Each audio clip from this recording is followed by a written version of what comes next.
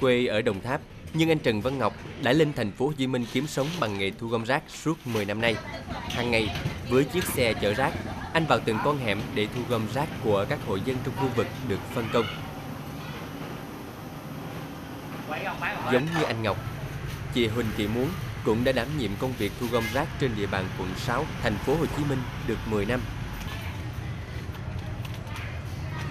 Đều là những người đã gắn bó với nghề thu gom rác khá lâu năm, nhưng cả anh Ngọc và chị Muốn đều chưa ý thức được đầy đủ về những nguy cơ mà nghề nghiệp của mình dễ gặp phải như các thương tích, tai nạn nghề nghiệp, các mầm bệnh truyền nhiễm, đặc biệt là bệnh uống ván.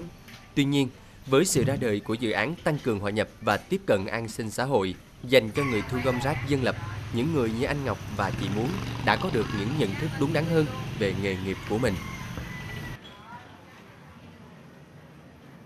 Hồi trước là mình đã dân lập thì không có được cái ENDA tội hỗ trợ là mình không có cái gì hết. Quần áo hay là gì mình cũng mặc đồ bình thường thôi. Còn bây giờ là hỗ trợ cho mình đã được đồng phục và hỗ trợ được ờ, chích ngừa với ờ, lại được lợi ích của mình ờ, là mình đi làm đúng giờ.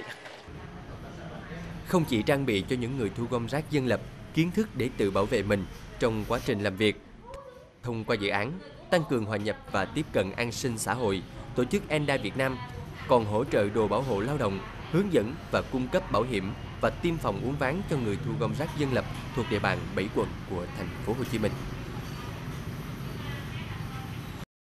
Song song với các giải pháp nhằm cải thiện điều kiện lao động, dự án tăng cường hòa nhập và tiếp cận an sinh xã hội dành cho người thu gom rác dân lập còn thực hiện các giải pháp nhằm hỗ trợ người thu gom rác dân lập có thể tự tin hòa nhập với cộng đồng và nâng cao thu nhập, xây dựng một cuộc sống bền vững cũng đang được tổ chức ENDA Việt Nam tích cực triển khai. Chúng tôi cũng đang hỗ trợ những người gom thu gom rác dân lập à, tập hợp làm theo thành nhóm, làm ăn chung với nhau hoặc là à, thành hợp tác xã để họ có thể phát triển cái cái cái cái cái, cái, cái các cái hình thức kinh doanh và đa dạng hóa cái nguồn thu để họ tăng cái thu nhập của họ. Thì đấy là một cái ờ, cái hỗ trợ lâu dài để họ có một cái nguồn thu ổn định cũng như có cái thu nhập tốt để về sau này họ sẽ được tiếp cận đến cái dịch vụ bảo hiểm xã hội bắt buộc của nhà nước hoặc là họ đủ tiền để họ tham tham gia những bảo hiểm xã hội uh, tự nguyện hoặc là bảo hiểm bảo hiểm ờ, y tế uh, cá nhân mà các công ty bảo hiểm họ hiện nay họ đang cung cấp.